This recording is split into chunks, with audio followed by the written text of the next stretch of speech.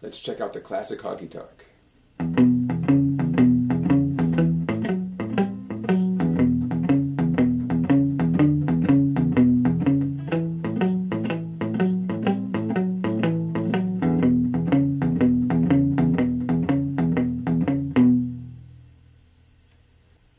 You might have to use a capo depending on whose version you want to play along with, but I'm going to teach today's lesson with no capo.